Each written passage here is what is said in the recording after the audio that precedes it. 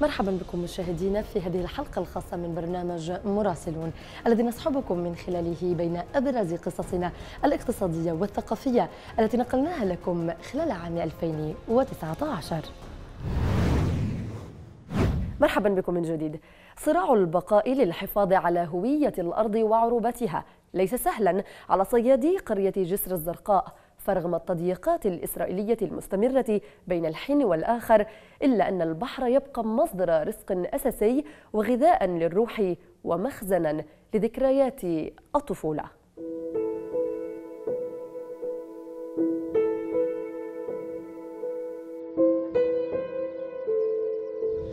في بقعة من بقع الساحل الفلسطيني تقع قرية جسر الزرقاء. لتبقى شاهدة على عروبة الأرض والمكان لكن ثمة ضريبة يدفعها أبناؤها الصيادون. المهنة مضيت حياتي في البحر يعني كل حياتي أشتغل في البحر. أما اليوم أنا متقاعد وما اشتغلش إلا الشغلات الخفيفة ابني يشتغل محلي وأنا بأجي أساعده يعني اللي أقدر عليه. وأنا طفل صغير كان حياة أبوي ينزل على البحر يصيد وأنا كنت ألحقه وأمشي وراه وأحمل له السلة. حتى بدي أقول لك شغلة اللي أنا المدرسة ما خشيتهاش ما تعلمتش تعلقت في البحر. كانوا يودوني على المدرسة كنت من الناحية الثانية أهرب على البحر.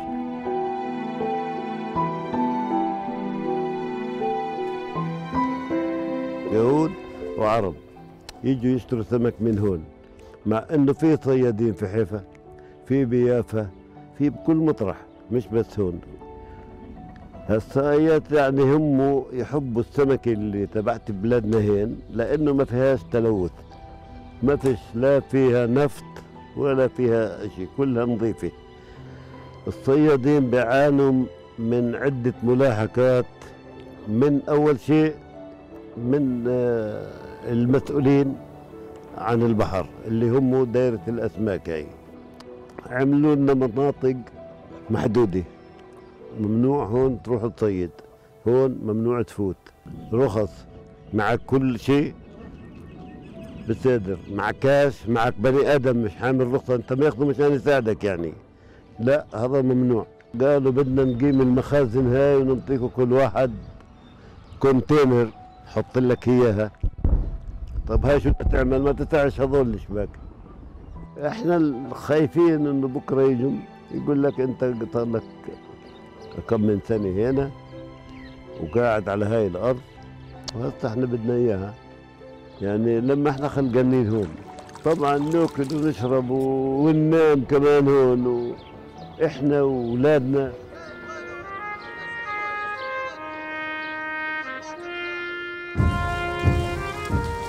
وإحنا صامدين ونقول للجيل اللي جاي هذه الأرض خلقنا فيها ونموت فيها. ما في.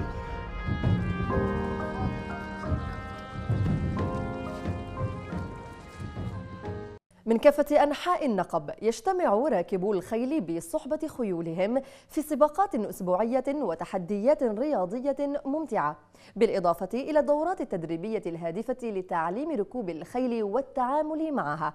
خيول البيداء وتحدياتها ما بين الرياضات والعادات في النقب.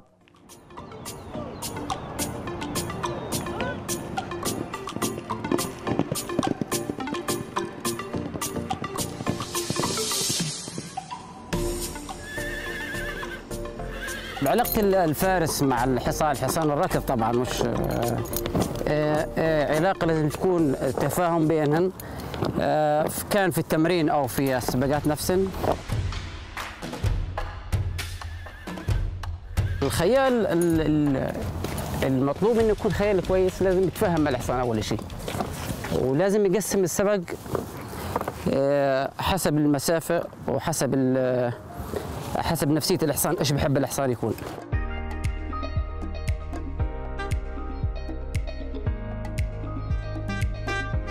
هو العنصر الأهم في المنافسة ومع أنفاسه تكتمل لوحة النصر أو ترتسم خيبة الأمل. ننقل لكم رياضة الفروسية من أرض المذبح بصحراء النقب.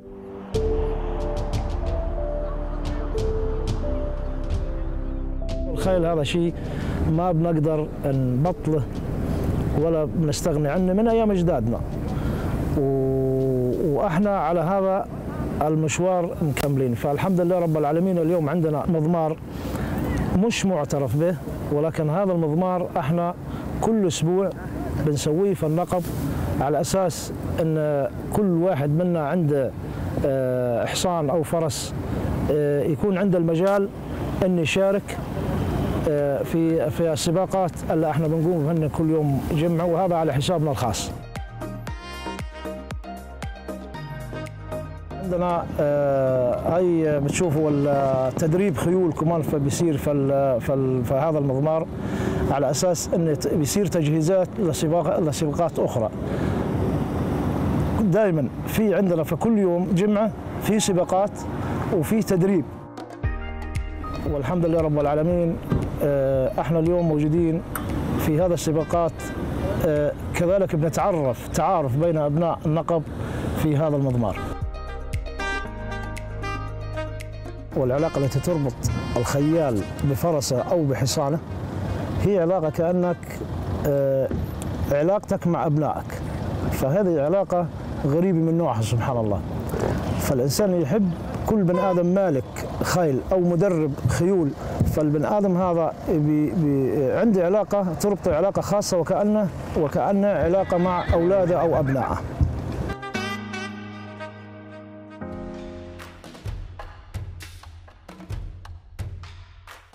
الخيال اللي بيركب وبيسابق اللي بيمارس السباق على آه، آه، ظهر الحصان أو الفرس له علاقة خصوصية تخصه بينه وبين وبين آه،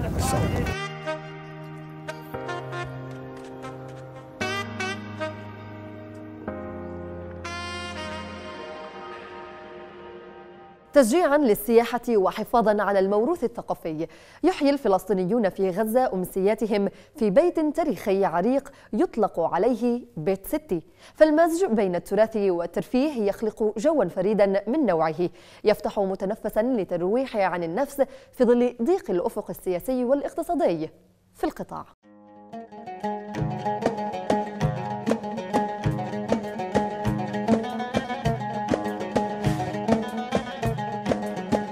الأماكن الأثرية الموجودة في قطاع غزة وهذا المكان جزء من هذه الأماكن. عمره الزمني يقارب من 450 ل 500 عام. عدم التفريط بالموروث الفلسطيني هدف يسعى له المهتمون بالتراث التاريخي وأصالته. بيت ستي نموذج جديد في قطاع غزة يحافظ على عراقته. رغم الأشكال المعمارية الحديثة. هناك اهتمام كبير في آثار كل بلاد. هنا في قطاع غزة بصراحة يعني لقلة الاهتمام في هذا النوع وهذه البيوت وهذه الأماكن الأثرية. آثرت أن أكون المبادر الأول في قطاع غزة وأن أحول هذا البيت إلى يعني مكان أثري.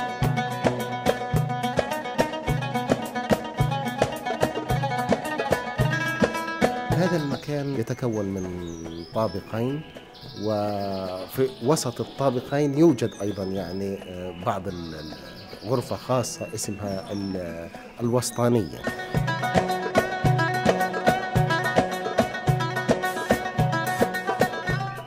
هذا المكان يتكون من هذا المكان اللي إحنا موجودين فيه الآن اسمه أرض الديار.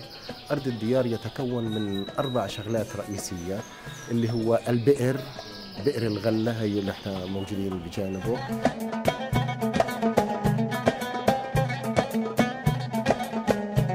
النقطة الثانية اللي هي البحرة البركة اللي بتكون في وسط أرض الديار.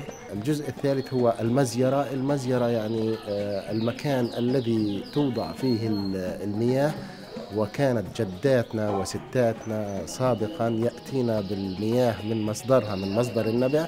عبر الجرة ويضعنها في شيء اسمه المزيرة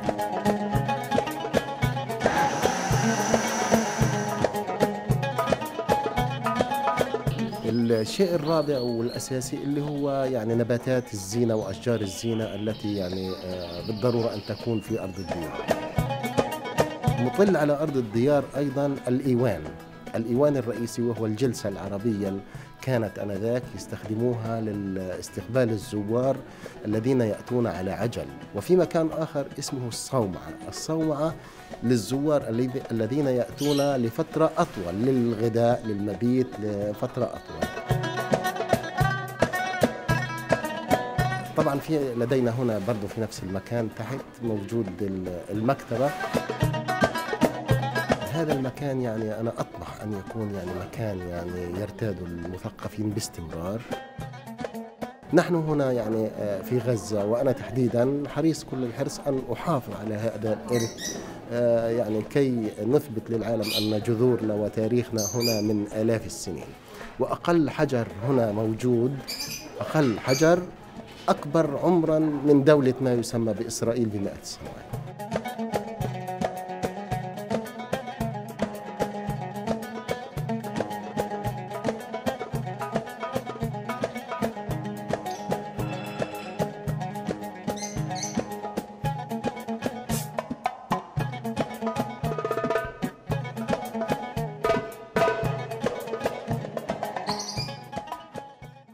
عقب رفض وتعنت دام سنوات عديدة.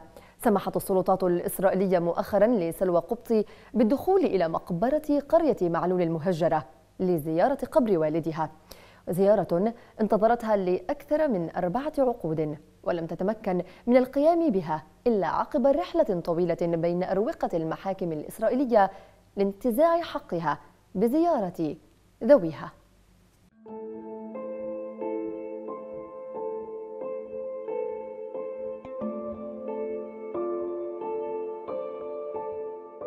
هي والنكبة توأمان حيث استشهد والدها حين كانت لا تزال في رحم أمها.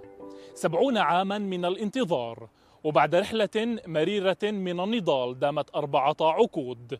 تمكنت سلوى أخيرا من انتزاع قرار يسمح لها ولأول مرة بزيارة قبر والدها. هنا في معلول.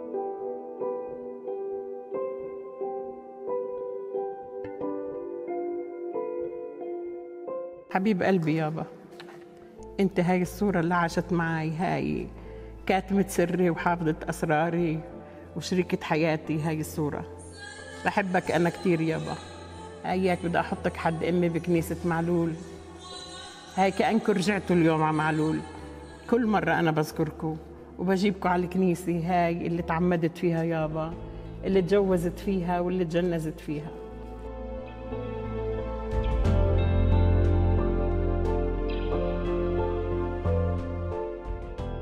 أصرخ وأقول لك يابا! احتمال نلتقي خلال 30 يوم كيف المحكمة قررت. احتمال. أنا بعرفش بتأمل إنه نعرف وين قبرك نعرف وين آه، ترابك. ابوس هذا التراب اللي ضم اغلى أبو اللي صار لي بستناه 72 سنة. تنى أشوفك يابا. مات سلامي ما شافكاش أخوي. ماتت أمي وتتمنى تزورك وما شافتكاش خيات اللي ببيوتهم مش عارفين نكون الخوف اللي كان مليان عنا. بس أنا تحدي لكل العالم. بدي أشوف قبر أبوي.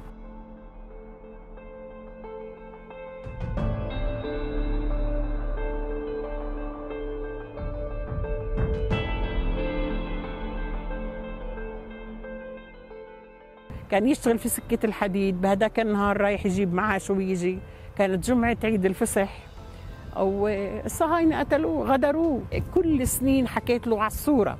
اليوم بدي بدي أعبط وأحكي مع أشياء بس في شغلات يمكن بيني وبينه بدها تكون. تخيل إنه الجيش اللي قتله هو اللي بده يوقف قدامي. يعني هاي المشاعر الصعبة ما حدا بحسها. أنا حاسسها. أنا حاسة بثقل على صدري بثقل على ضميري بثقل على حتى وجود أبوه جاي أقول له أنا جاي أشوفك والجيش اللي قتلك هو معي.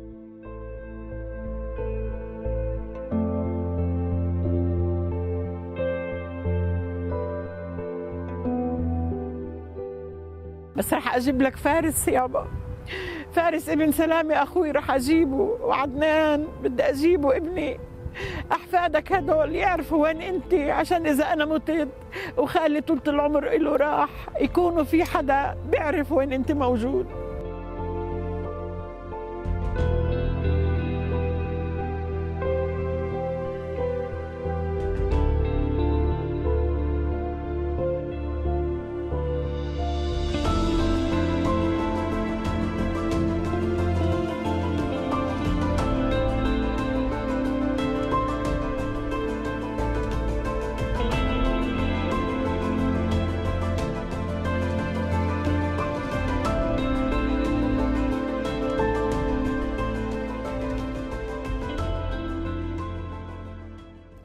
أكمل المسيرة من حيث أنهاها أجداده في حرفة صناعة الفخار.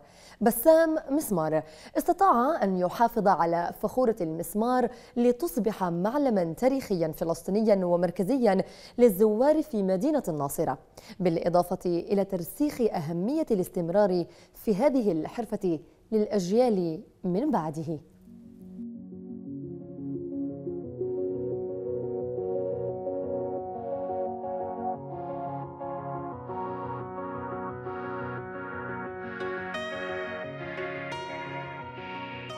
اسمي بسام مسمار حفيده للجد حنا مسمار. موجودين باليوم الفخورة اللي هي بلشت مع حياة الجد أو جدي حنا مسمار. فخورة اللي طبعا الفخورة بالاسم فخار الاسم الشعبي سموها فخورة إنه رايحين على الفخورة جايين على الفخورة طالعين على الفخورة محل ما بيصنعوا الفخار. فسموها الفخورة الاسم الأكثر معروف بين الناس ومدرج بين الناس الاسم الشعبي. اللي بلش بالمهنة سيدي الجد حنا زي ما حكينا اللي خلق بال 1896 لما خلق توفت أمه صار يتيم. أهله بعثوه على مدرسة خاصة بالقدس كان يسموها مدرسة الأيتام السورية. كانوا يوعيهم برا زمان أخذ التراب اللي وين بس توعيهن عمل تمثال. بعد يومين شاف التمثال موجود كان كثير مبسوط من حاله. فأهله نموا له موهبته بعثوه على منخن في ألمانيا تعلم فن الفخار أربع سنين. وبالاخر اجى على الجبل اللي هو جبل سيخ شرق مدينة الناصري. من هون بلش اللي يبني أول معمل له بحياة ستي اللي ينتج الأدوات الخزفيه القديمة. ليش هذا الجبل؟ اللي هو جبل سيخ شرق مدينة الناصري لأنه فيه تراب صلصاليه مناسبه لصناعة الفخار. بعد ما اكتشف إنه هذا الجبل فيه مواد اللي هي تنفع لصناعة الفخار. بعدين علم أولاده بعد ما علم أولاده أولاده صاروا يجوا اوامير زراعيه بانواع مختلفة. طوروا المحل أكثر لما صار معهن مصاري شوي صغير زي ما بقولوا جابوا آلات من برا. صار كل آلة تساوي 1200 قطعة. طوروا الإنتاج تبعهن صار أكثر سريع وأكثر فيه جودة. بعدين عملوا فراني على كهرباء اللي صار فيه كمان أكثر سرعة في في إنتاج الفخار. لم يندثر تاريخ فاخورة المسمار مع تقادم الأجيال بل ازداد تعلق الأحفاد بهذا المكان فصانوه من خلال تحويله لمحطة تاريخية وسياحية رئيسية في مدينة الناصرة.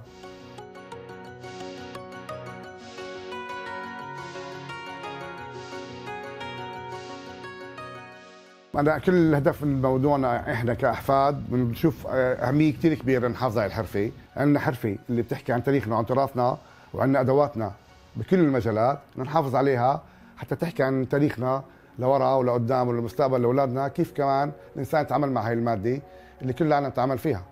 فهذا هذا الدافع تبعنا. فإحنا بنشوف إنه هذا الموروث المفروض إنه ننقله لشعبنا اللي تحكي عن انتمائنا وتاريخنا وعن تربتنا وعن أدواتنا اللي هي اليوم أهم شغلة ممكن إحنا نحافظ عليها وندافع عن وجودنا من خلال هاي الحرفة قطعه الفخار الصغيره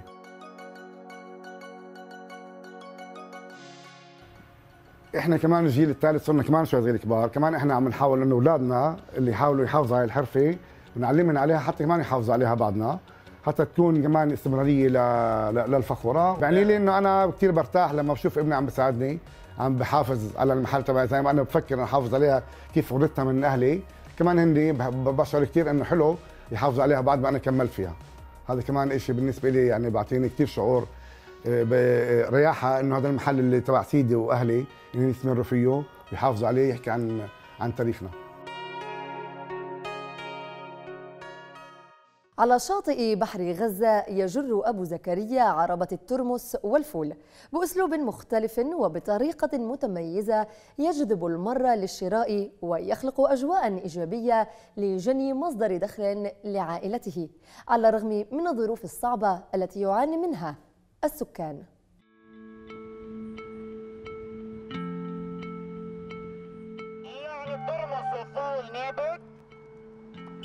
والترمس فول نابت أول حاجة بنبدأ في المقولة بتقول هذه الشغلة مش شغلتنا بتضل أحسن من قعدتنا. وعليه ليمون عند أبو زكريا عين بطريقته الخاصة استطاع أيمن الغزالي أن يجذب المارة ليشتروا منه الترمس بأسعار زهيدة ليوفر لقمة العيش لعائلته رغم الأوضاع الاقتصادية الصعبة في غزة.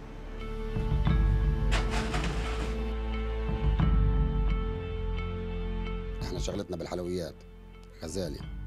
كنا نشتري حلويات يعني في جميع أنواعها من الفستقية ومسمسميه وعوامة وحلب ونمورة. فهنا لما تغيرت الأوضاع ومسكت ناس غلي الإشي صار طقطقين. أول ما مسكوا البلد صارت جرة الغاز ب 70 شيك. طقطقين جرب جرتين. كيس السكر وصل 180 شيك. ما قدرتش. ما ما ما زبطتش يعني شجرة الحلو. يعني أنا زلمة بسيط مستأجر لي 16 17 سنة بالاجار ومحدش مدور. بقى أنا بدي أقعد جنب الحيط وأتوسع وأقعد أتسول. مش هينفع. أقعد أخبط دور الناس دايني وما دايني لا. ساتر بيتي. ومطعم أولادي. بطلع على خط البحر. على كورنيش. على الستة مساء بضل إلى ال 12 للواحدة في الليل. حسب ما يكون موجود ناس كل ما موجود ناس إن شاء الله ضلهم لبعد 60 فجر. أنا معهم. يعني الكارة هذه بتعني لي شيء كتير لأنه هي اللي ستراني هي اللي بتجيب لي رزق أولادي هي اللي معيشاني معيشة أولادي. وموفرة لي أجار دار إن توفر حسب يعني الرزقة وحسب هذا. يعني إن صار فيها أي حاجة رزقتي بتوقف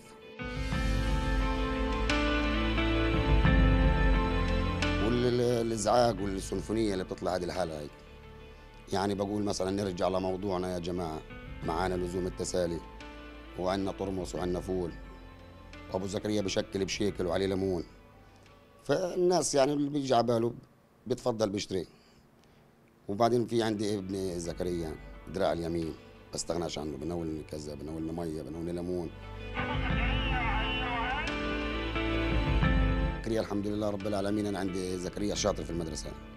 والسنة هذيك اخذ شهادة تقدير. بس أنا بجيبه يعني بدك تقولي بيساعدني لغاية العشاء وبعد العشاء. بعدين بروحوا على البيت يشوف واجباته يشوف برنامجه المدرسة لثاني يوم وبنام للمدرسة لأنه مش حابب أنا يورث الشقة عن أبوه.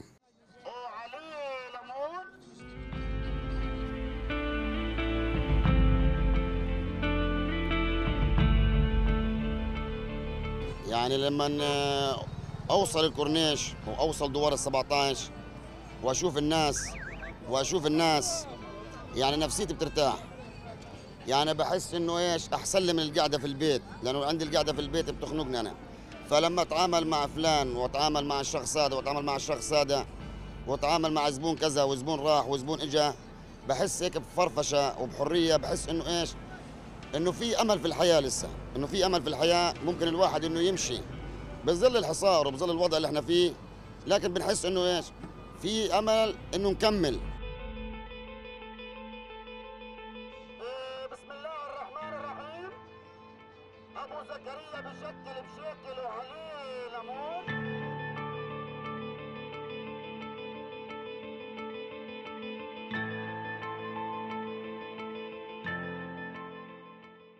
انطلاقا من إيمانهن بأن الفن وسيلة نضال تصل إلى كل الشعوب. حملت فنانات من النقب رسالة تناقش جميع أشكال العنف من خلال عرض لوحات فنية تجسد أثر الجريمة على الأفراد والمجتمع.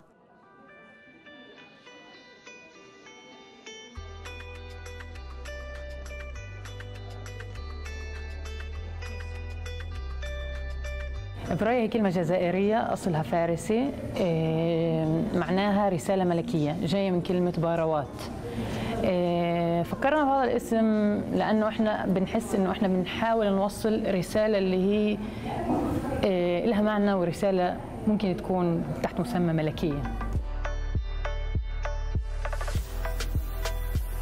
فنانات النقب خرجن عن الصمت ضد آفة العنف والجريمة في لوحات ومعرض للمساهمة في مناهضة العنف الذي أصبح يشكل خطرا على حياة كل أفراد المجتمع العربي.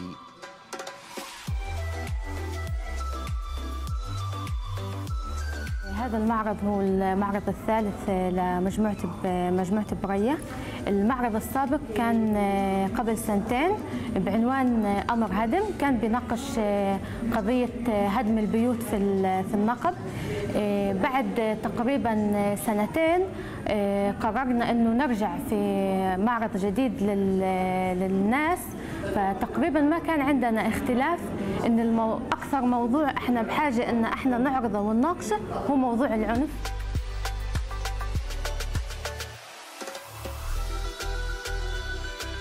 الشيء اللي حاولنا نركز عليه كمجموعة لما اخترنا موضوع العنف إنه إحنا نناقش كل أشكال العنف مش فقط العنف القبلي إحنا ناقشنا العنف القبلي العنف ضد النساء جرائم الشرف حتى التنمر في المدارس. باعتبارها حتى أحيانا أبسط أشكال العنف هي جدا مؤثرة وجدا وجدا مؤذية كمان. أنا بآمن إنه إنه الفن رسالة جدا جدا مهمة، حتى على مر كل التاريخ كان فن الفن كان وسيلة نضال في الشعوب، الفن مش لازم يكون مجرد حصة في المدرسة، يعني إحنا يوم الافتتاح كان الحضور جدا عظيم، والناس حتى اللي بتجي بتتأمل اللوحات اللي بتشوفها وبتفهم أفكارنا. وكثير مرات بيشرحوها بطريقة أفضل من من الفنان نفسه كيف بيشرحها. ثلاث لوحات فيها أسلاك لأن حبيت اللوحة تكون معدنية زي الأسلحة اللي إحنا بنستخدمها. أول شيء بدينا في رمز حنظلة اللي ناجي العلي كان يرسمه عشان يعبر عن رأيه بالوضع السياسي الموجود عندنا ما بين القضية الفلسطينية والإسرائيلية. سويت رسمة حنظلة بالنحاس اللي هو اللون اللي شوي دافي اللي عن الحرارة والدفء والإنسان. بسلك واحد كامل متكامل. اللي بيميز إن حنظلة قاعد مربوط بالسلة والروح والدم مع حنظلة الجزء الآخر. لكن زي ما إحنا شايفين إن الوضع اللي موجود بمجتمعنا مش فقط كونفليكت اللي هو ما بين الحنظلة وأعدائه وإنما عشان نسوي هذه اللوحة ما كان في داعي نحط أعداء وصار الموضوع بين حنظلة ونفسه. إحنا المجتمع العربي صار صرنا إحنا نطخ في بعض. إذا بتشوفوا هان في هان رصاصة وفي هان قزاز مرايا اللي الرصاصة اخترقته وكسرته. تمام؟ أي حدا حيوقف قبال الصورة هاي راح يشوف حاله في القزاز إيش يعني إيش الفكرة من وراء الموضوع؟ الفكرة إنه أي حدا فينا ممكن يكون ضحية أي رصاصة إن كان بشكل متعمد أو هو قاعد في بيته ما خصه ولا في أي مشكلة ممكن تجي رصاصة طائشة. فكيف ما بتشوفوا موضوع اللوحة هاي عن السلاح المنتشر والمستعمل بكثرة في مجتمعنا. في البداية ما كنا متوقعين يكون لهالدرجة في تجاوب من الناس. صح في المعرض أول كان في حضور بس ما كان هالحضور اللي جدا عظيم يعني وكان بس من فئات محددة. بس لما بدينا نطرح مواضيع اللي هي تمس المجتمع بشكل مباشر الناس حست إنه فيها شيء مهم لازم نشارك فيه رغم إنه الفن مش شيء معتاد إنهم يشوفوه بشكل يومي ما بتصير معارض كثير في مجتمعنا. فحسوا إنها حركة جديدة وفي نفس الوقت بتحكي عن معاناتنا.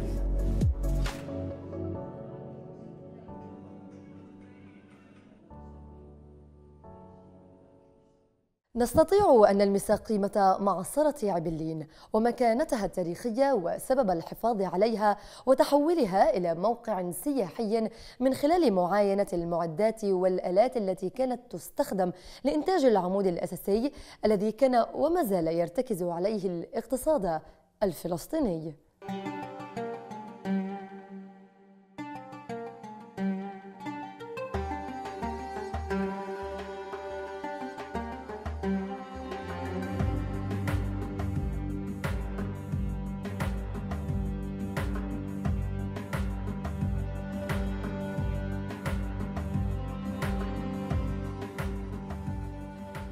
المعصرة آه، تم تركيبها المبنى كان قائم المبنى من سنة 1926 آه، تم التركيب سنة 1949 حياة أبوي اللي يعني والدي هو اللي هو اللي أقامها. يعني أنا ثاني جيل فيها. وكل الآلات الأصلية بعدها آه، موجودة.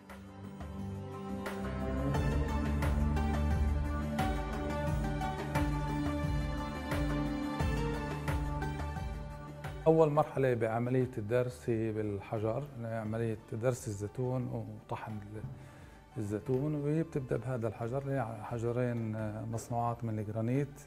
الآلة صناعة فرنسية فبديروا الزيتون هون حوالي خلال عشر دقائق بيكون صار ممعوس مدروس وبنزل من المعص من الحجر لهذا الجرن.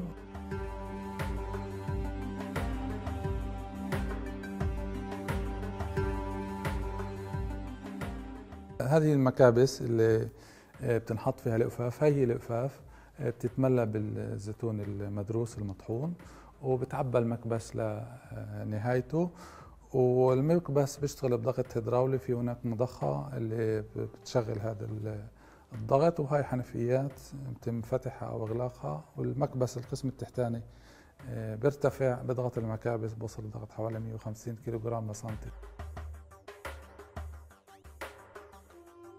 هاي مصفاة بسموها فرازة اللي هي عمليا بتفرز الزيت عن العكر آه، جهاز بيعمل عملية الطرد المركزي. الزيت لأنه أخف بيرتفع مع الدوران بيرتفع لأعلى والمي العكر اللي هو مركب أكثر المي بضل بنقطة أوطى. فمن هون بيطلع الزيت ومن هون بيطلع العكر وهاي المحطة الأخيرة بالعصر. وبعدها تم محاسبة الفلاح قديش أنتج. بدفع الأجار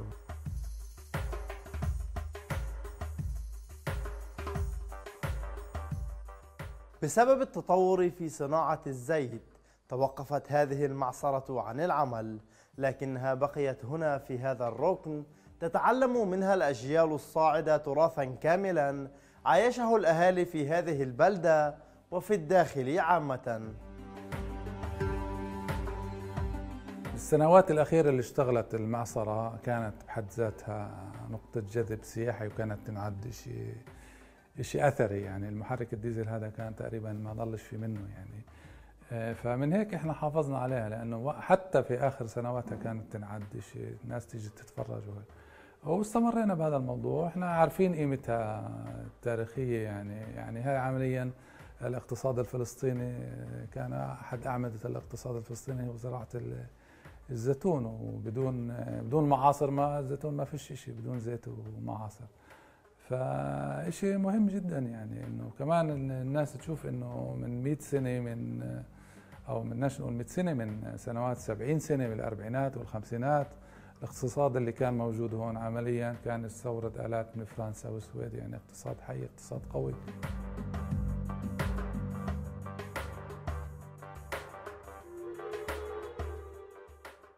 هدم ومصادرة واستيلاء على الأراضي والأثار الفلسطينية التاريخية العتيقة. كل هذا يبدو واضحا بين أزقة وذكريات سكان حي حيفا العتيقة أقدم الأحياء العربية وأعرقها.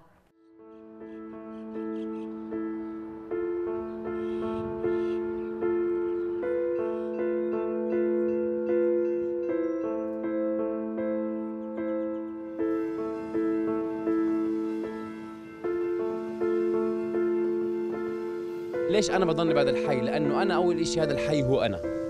هاي هويتي. وبهمني هذا الحي. بحب هذا الحي. متواصل مع الحي هاي. إن كان بذكرياتي ولا إن كان مستقبلي. أه بحس إنه في مسؤولية إلي للحي اتجاه الحي هذا لأنه هذا الحي هو بيتي. هذا هو هذا هو نسميه وطن الأول يعني. أنا هون هون خلقت أوكي؟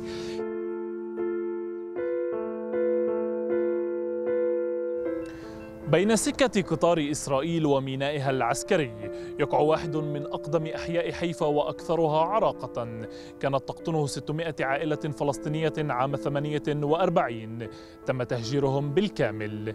إلا أنه في سنوات السبعينيات عادت بعض العائلات العربية لتقطن هذا الحي وتعيد ضخ الحياة فيه من جديد.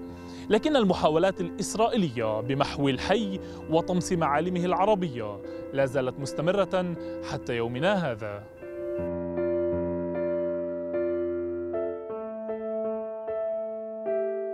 حي العتيقة هو الاسم الرسمي والقديم لهذه الحارة وطبعا هذا يعود إلى آلاف السنين إلى الوراء لما بدأ الإنسان منذ العهد الكنعاني بالسكن في الحي فاعتبر عتيقة بفعل المباني القديمة والأثار القديمة اللي فيه.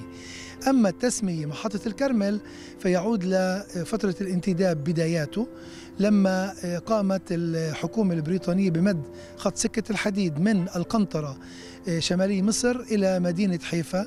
ولكون السكة أو القطار وصل في آخر محطة لهذه النقطة تحديدا أطلق على هذه المحطة اسم محطة الكرمل.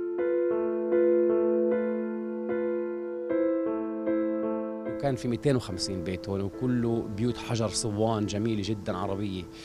آه، فعلى مدار السنين هيك صار يهدموا البيوت لأنه كان في ناس آه، تترك الحي. في كثير ناس تركت الحي.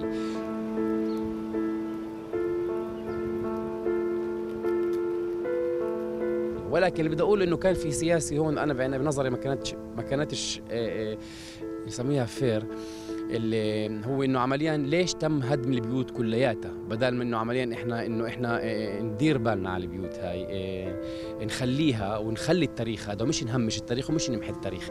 فطبعا السياسة هاي كانت واضحة بالحي هذا إنه كل عائله كانت تترك بيت خلال بشهر شهرين بالفعل كان يتم هدم البيوت كلياتها. فبعد ما كبرنا وعينا شوي صغيرة فهمنا إنه هذا جزء من السياسة طبعا. اللي حصل بال 48 بهذا الحي حي العتيقة هو نفس الشيء اللي حصل للمدينة. هجوم من المنظمات اليهودية قصف ونسف أعداد من البيوت لترهيب الناس وتفزيعهم. وبالتالي الناس اللي كانوا ساكنين بهذا الحي على وجه الخصوص كانوا قريبين من الميناء كانوا الأوائل اللي قدروا يصلوا للميناء ويتركوا من الميناء بواسطة السفن والزحفات باتجاه مدينة عكا.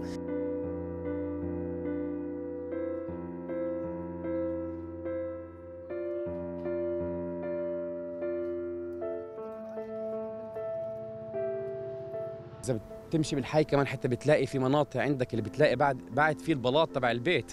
بعد ما تم هدمه يعني في قدام غد في منطقة بتشوف في بلاط البيت بعد ما هم آه تم هدم البيت كلياته.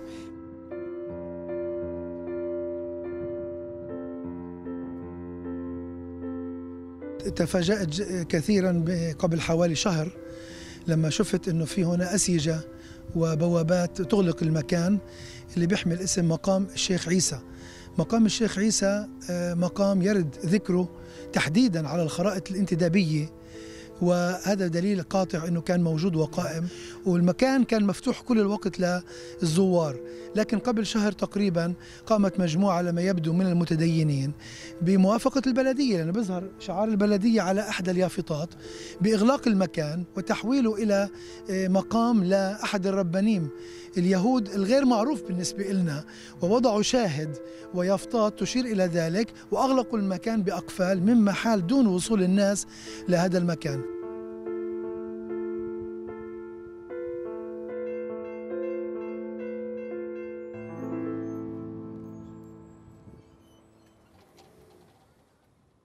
من خلال التضييق تارة والإغراء بالمال تارة أخرى.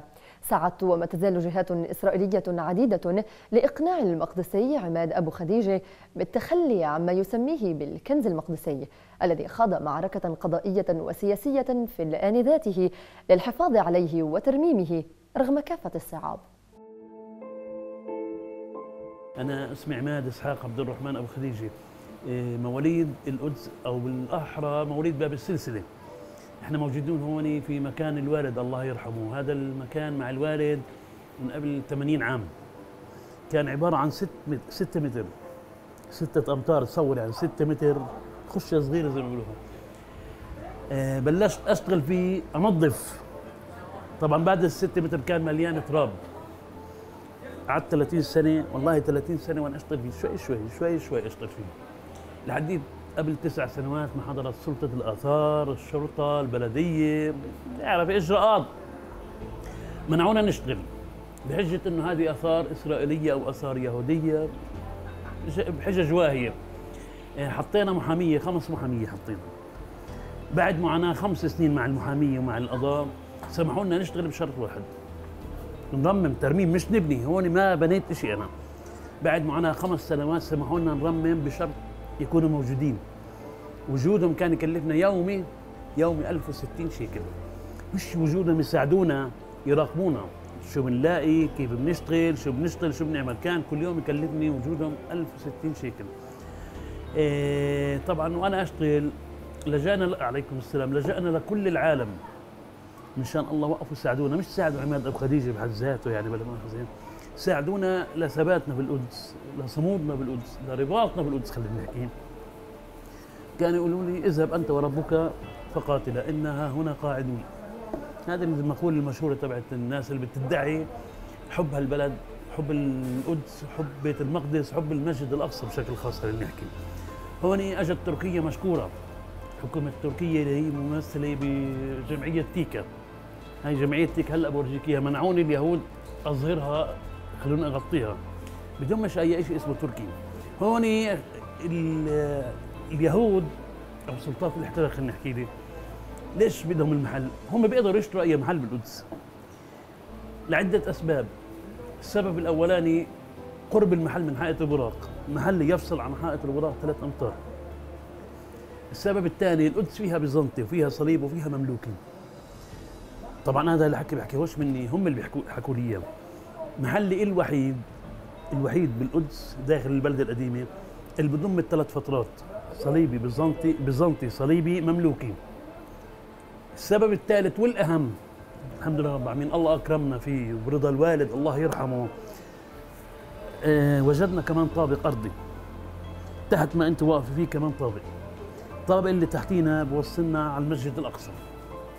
بوصلنا على حائط البراق بوصلنا على كنيسة تيامه بوصلنا على باب العمود. صبر أنا بحكيكيش على 50 متر ولا 100 متر ولا 200 متر. بحكي لك على كيلوات. لهذه الأسباب سلطات الاحتلال والله ما هي تركاني. إيش بدك أبو خديجة؟ يعني أنا صرت زي زي ما بيقولوا الولد المدلل عند سلطة الآثار عند جي عند عطيرة كوهنيم عند أي إنسان بده بده المحل. آخر مبلغ عرضوه علي 31 مليون دولار. بالسابق عرضوا علي 24 مليون دولار. آخر مبلغ انعرض علي 31 مليون دولار.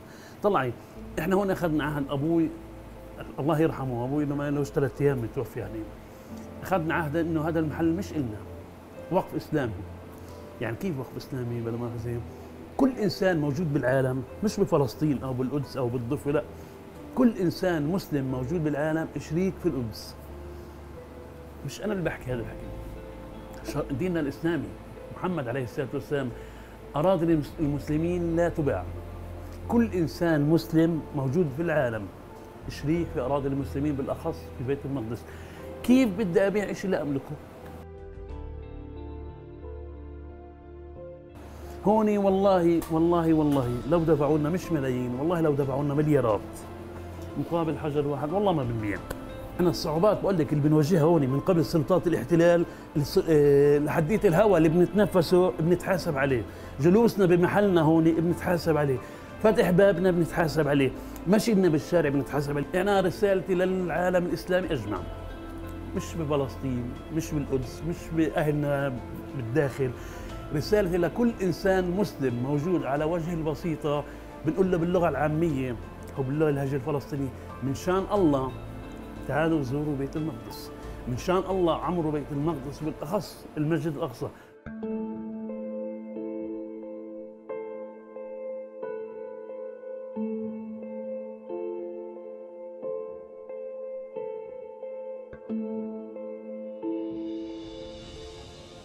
إلى هنا مشاهدينا نصل إلى ختام حلقتنا وبداية عام جديد من القصص والجولات التي قدمناها لكم برفقة مراسلين في الميدان. أشكركم على حسن المتابعة وكل عام وأنتم بألف خير.